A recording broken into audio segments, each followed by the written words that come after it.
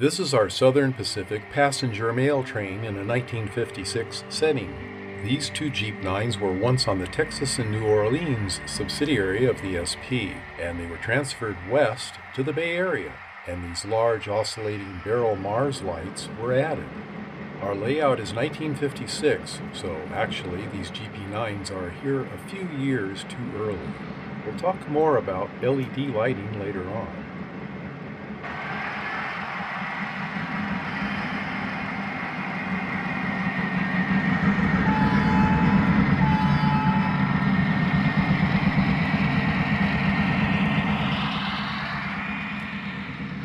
These are early lifelike Proto 2000 models and they run very well. These models came with the orange and silver wings on both ends, indicating that they have control cabs facing both directions.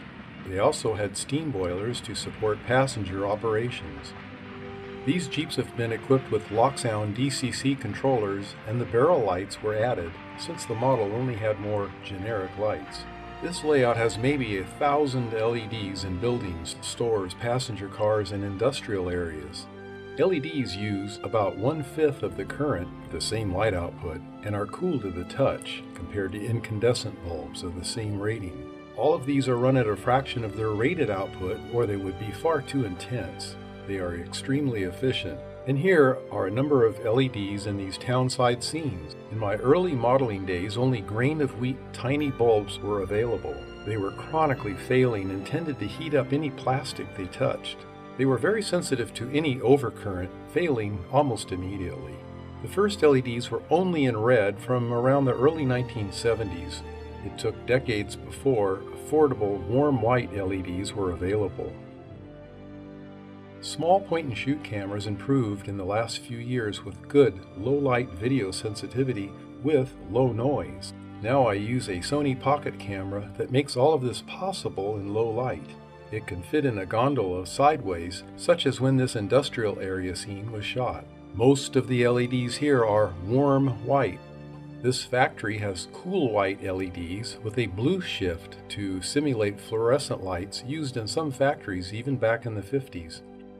Here's a package with the Details West headlight. It's a soft metal casting and it needs hollowing out with a ball grinder to better fit the LED behind the MV lens. I harvested hundreds of warm white LEDs from these IKEA light strips that were on sale for about $6 each, and each strip had about 35 LEDs to unsolder and make use of.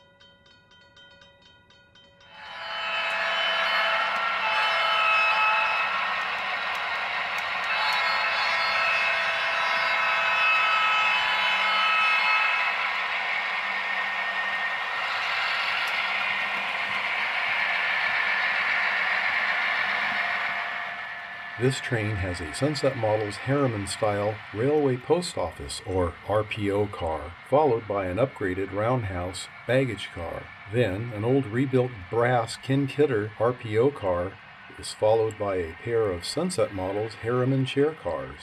The last car is a longer chair car made from an old Walthers wood and metal kit, very common in the 1950s.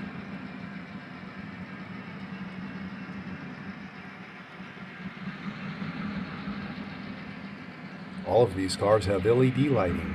The Walthers, Ken Kidder, and Roundhouse cars have new Walthers heavyweight trucks with pickups for wiring lights, including a tailgate red warning light. The sun is up now, and this is a good place for a review run by.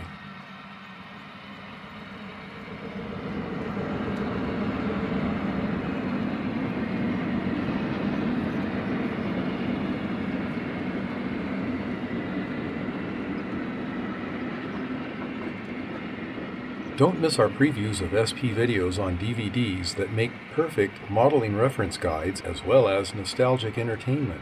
We offer around a dozen DVD videos that focus just on the SP over the various decades. This, SP by the Bay DVD, focuses on passenger and freight in the San Francisco Bay Area, long ago. Steam and diesel are featured.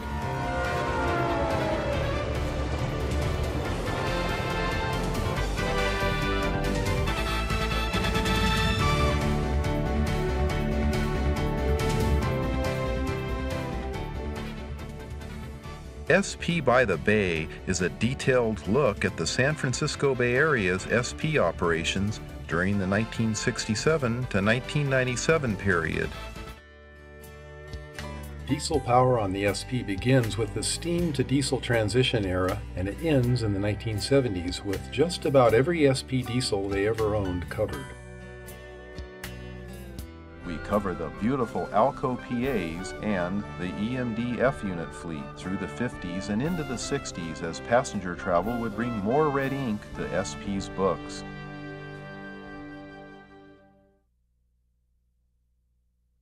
We also cover the graceful dual-motored E-units in great locations, such as Santa Barbara, California, where crews were changed. Several old rare views of special FAMO units of Alco and others show up in rare views as well as some great road power scenes.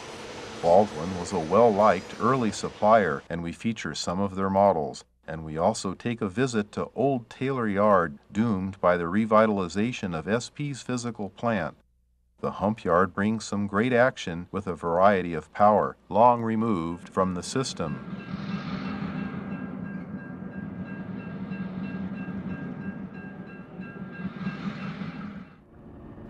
Out on the road, we cover many locations out west with monster lash-ups of power and with correct sound synchronization accurately matched to locomotive types.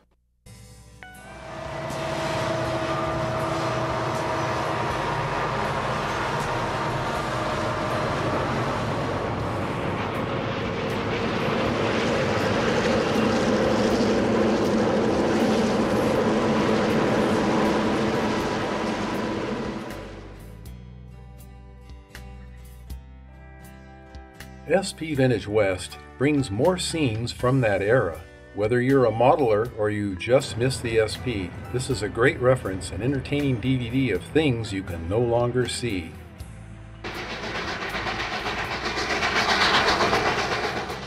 Our passenger train coverage features mail trains and the San Joaquin Daylight, all the way to its demise in 1971.